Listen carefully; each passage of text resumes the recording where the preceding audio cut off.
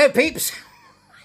right, have a look at the Dingley Doobery down below or up above, whichever social media you happen to be on. This is from one of these transgender forums filled with uh, gusset fumblers and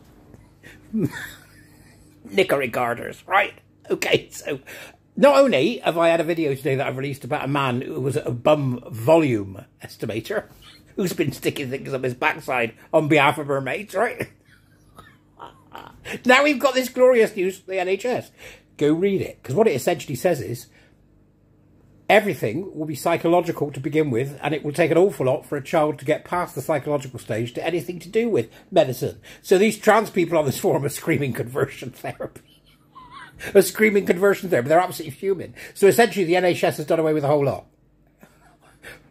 Now we've got to deal with the last bit, which is the bit that it ever happens at all. But nevertheless, I feel this is something we can celebrate, as in the chocolate, or if you prefer, the song. Celebrate good times. Come on!